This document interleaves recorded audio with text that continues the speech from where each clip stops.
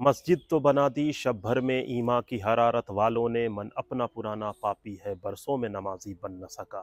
ये शेर इस मस्जिद के लिए जिसके सामने अभी हम खड़े हैं, इसके लिए बखूबी सटीक बैठता है। यानी एक आलीशान, एक बहुत बड़ी, एक बहुत वसी मस्जिद आज के दौर में दिल्ली के पौश इलाके में मौजूद है, लेकिन ये एक वीरान मस्जिद है। अभी हम दिल्ली के सबसे पौश इलाकों में से एक, जिसका नाम है हौस खास, वहाँ पर मौजूद है। और जिस जगह हम खड़े हैं, ये एक मस्जिद है। और हमारे पीछे कुछ मज़ार, कुछ मकबरे हैं, जिसके बारे में ये कहा जाता है कि ये मखदूम सब्जवारी की दरगाह है और उन्हीं से जुड़ी हुई है ये मस्जिद। ये मस्जिद आज से कई सौ साल पहले बनकर तैयार हुई है, लेकिन ये मस्जिद वीरान है। तो अक्सर हम लोगों ने एक शेर सुन रखा है कि मस्जिद तो बना दी, शब भर में ईमा की हरारत वालों ने, मन अपना पुराना पापी है, बरसों में नमाजी बन न सका। तो सेम यही मसला इस मस्जिद के साथ भी है। ज़माने से ये मस्जिद वीरान है, इसमें नमाज़ नहीं होती है, लेकिन इस मस्जिद की यहाँ पर होने की वजह यह है कि यहाँ पर एक बुज़ुर्ग हैं और उन बुज़ुर्ग की नस्बत की वजह कर यहाँ पर इस मस्जिद को बनाया गया।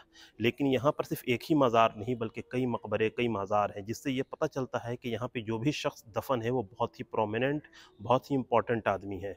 लेकिन ये कौन से बुज़ुर्ग हैं, इनकी क्या शख्सियत थी, इनके अहल औलाद कौन हैं, इसके बारे में नहीं पता चलता है। ये जो मस्जिद है, इसको कुछ हिस्टोरियन मानते हैं कि ये लोधी पीरियड में बनी है, वहीं कई हिस्टोरियन का ये मानना है कि ये तुगलक इरा की बनी हुई मस्जिद है। इसकी बहुत सारी वजूहत है, जैसा हौस खास का जो इलाका है, ये तुगलक दौर में वजूद में आया है। यानी ये कहिए कि ये जो पूरा इलाका है, यहाँ पे तुगलकों ने काफ़ी बड़े बड़े किले, काफ़ी बहुत सारी चीज़ें बनाई। इससे पहले ये इलाका खिलजियों के अंदर में भी रहा। उन्होंने भी यहाँ पर बहुत सारी चीज़ें बनवाई, बहुत सारी चीज़ें। उनकी आज भी यहाँ पर मौजूद हैं, चाहे चोर मीनार हो या सीरी फोर्ट हो या इससे जुड़ी हुई जो चीज़ हो। और उसके बाद यहाँ पर लोधी आए तो उनसे जुड़ी हुई चीज़ें यहाँ पर मौजूद हैं।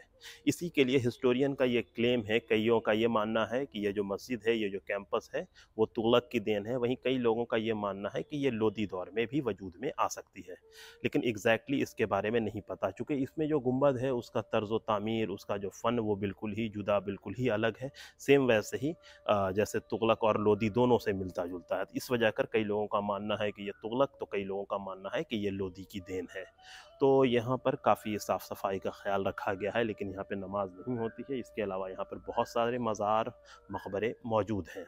अगर आप यहाँ पर आना चाहते हैं तो आपको हौस खास मेट्रो स्टेशन उतरना होगा, गेट नंबर तीन से। उसी के ठीक बगल में मे फेयर कॉलोनी है, उसी कॉलोनी के कैंपस के बीच में ये मस्जिद, ये मकबरा मौजूद है। ये एएसआई के प्रोटेक्टेड मॉन्यूमेंट्स में से एक है। काफ़ी बड़े कैंपस में फैला हुआ है, काफ़ी खूबसूरत है और इस मस्जिद में कई गुंबद हैं। तीन गुंबद सामने से दिखता है और साइड से दो तीन गुंबद और भी मौजूद हैं। तो आइए हम आपको यहाँ पर के चीज़ों से रूबरू करवाते हैं। ये मस्जिद का इंटरनल इलाका है, जिसके अंदर से हम लोग अभी जा रहे हैं। ये आप देख सकते हैं। तो ये कितनी बड़ी मस्जिद है, इसको आप वीडियो में देख के ही अंदाज़ा लगा सकते हैं। और यहाँ पर ये जो मेन इलाका है, जिसमें आगे सफ़ लगती है, ये मिंबर है, जिस पे इमाम खड़े होकर खुतबा दिया करते थे। लेकिन अब यहाँ पर नमाज़ नहीं होती है।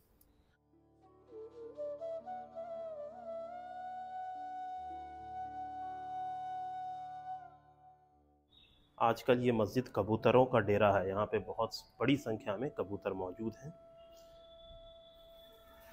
और आप ये देख रहे हैं।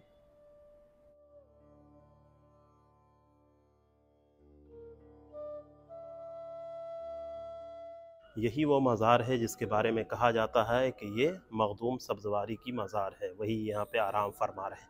लेकिन जैसा आप देखिएगा यहाँ के कैंपस में और भी बहुत सारे मज़ार मौजूद हैं, लेकिन ये किनके हैं, इसके में ऊपर ना कोई कतवा लगा हुआ है ना ही कोई चीज़ जिससे पता चल सके कि ये एग्जैक्टली किनकी मज़ार और किनका मकबरा है।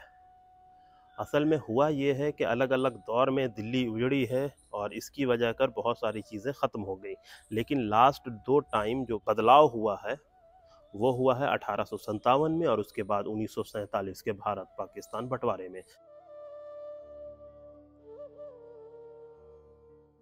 भारत पाकिस्तान बंटवारे का नुकसान ये हुआ कि बड़ी संख्या में लोग इधर से उधर हुए, जिसकी वजह कर बहुत सारे जो हेरिटेज हैं, उनकी हिस्ट्री भी दरहम बरहम हो गए वैसे ही में एक हिस्ट्री इस मस्जिद की भी, और साथ में यहाँ पर मौजूद जो मकबरा है, जो कब्रिस्तान है, जो माज़ार है, उसके साथ भी वही हुआ। एग्जैक्टली exactly यहाँ पे कौन बुज़ुर्ग आराम फरमा रहे हैं, उनकी खानकाह में कौन कौन लोग थे, ये इनके खानवादे के लोग आज के डेट में कहाँ हैं, इसके बारे में नहीं पता चलता है।